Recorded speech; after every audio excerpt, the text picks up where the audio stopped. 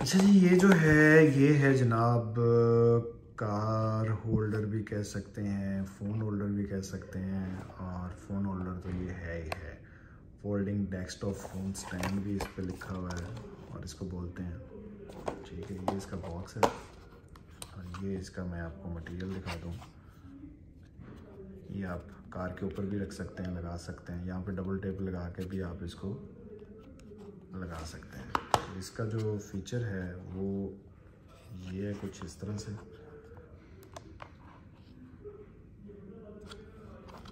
इस तरह से ओपन हो गया।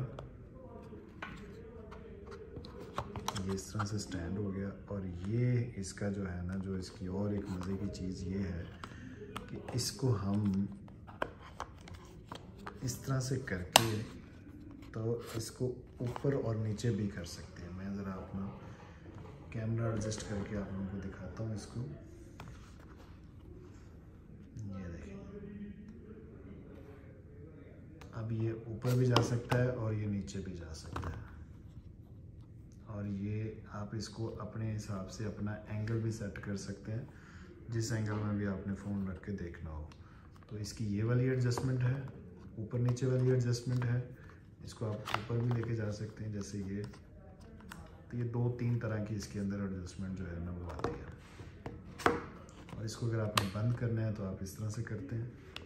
ये बंद हो गया। तो ये इस कंडीशन में होता है। तो बड़ी अच्छी प्राइस में बड़ी अच्छी चीज़ है ये। यूज़फुल है। तो आप इसको ज़रूर ट्राई कीजिएगा। Thank you